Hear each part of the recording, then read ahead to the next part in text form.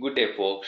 Today I'm going to show you how you can use AWS Lambda functions or serverless architecture to identify old or unused IAM access keys in your account. It is a security imperative to identify these keys and remove these vulnerabilities from your account.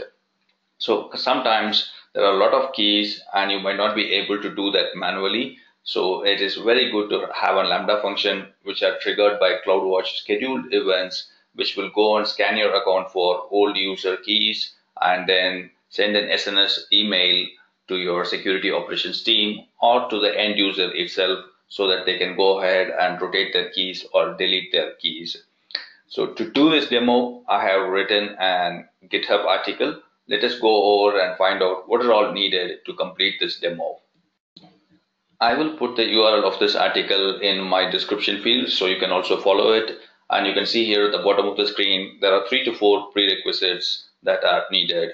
One is a few IAM users who have old keys. So if I navigate to my IAM dashboard and you can find there, there are three or four users which are having old keys here.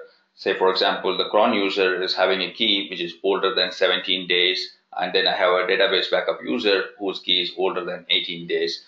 Uh, likewise, in a production account, you might have more users with a key of different ages.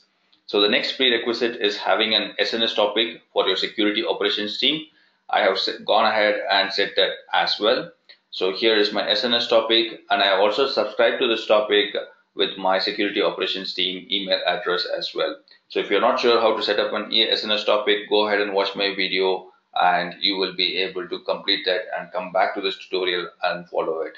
So the next prerequisite that we need is an IAM role and that role needs to have these two permissions. You can go ahead and have more restrictive permissions, but for a demo purpose, these should be suffice for you. But in production, go ahead and ensure that you have more restrictive permissions. So if I go back to my IAM dashboard, and here you can see here, I have a role which is called as serverless bot role, and I've given those permissions as well. So the last step that is for us to do is go ahead and configure the Lambda function itself. So that is what we are going to do. And the entire code that does this job for us is given here. So I'm just going to copy it in advance so that we can go ahead and set it up there in our Lambda functions. So I'm heading over to my Lambda functions. Go ahead and create function. I'm going to call it as serverless IAM key old key sentry. So my sentry is going to identify old keys and notify me and it is written for Python 2.7. So choose that and remember the role that we have created. So go ahead and choose the role serverless bot role. Click on create function. Now my function is created. So let us go ahead and add the code that we are interested in. So just scroll down and remove the, all the pieces that is already there and put in the code that we copied from the GitHub article.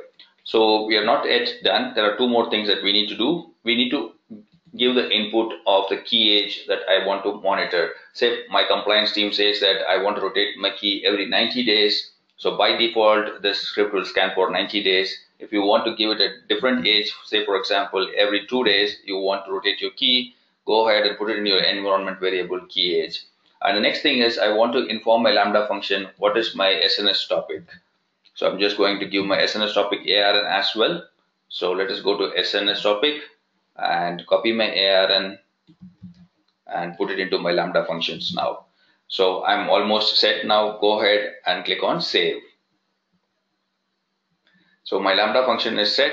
So next thing is how do I trigger it every day on a schedule job? Go ahead and click on CloudWatch events and then go ahead and click on configure and then put in a rule here say IAM old key sentry role.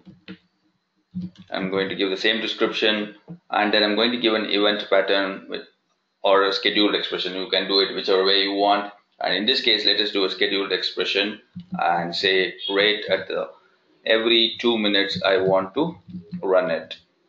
And then go ahead and click on add so every two minutes, my account will be scanned for older keys and I will also get an email for that. So let us go ahead and click on save and what I'm going to do is I'm just going to wait for a couple of minutes for the job to trigger and I should be getting an email soon in my inbox. So let us wait for that now.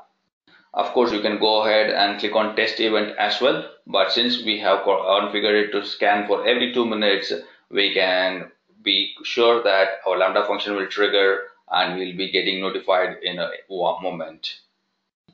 There we go. I got an email from my SNS topic. It says SecOps. Let us go ahead and see what is the inside the email. So here you can see here the key age cutoff that we gave is two days and then it found seven keys that are older than two days and it is listing all those seven keys and then it is also giving some more uh, information that is helpful for the security operations team to determine which user is having old keys and they can recommend the appropriate remedial action.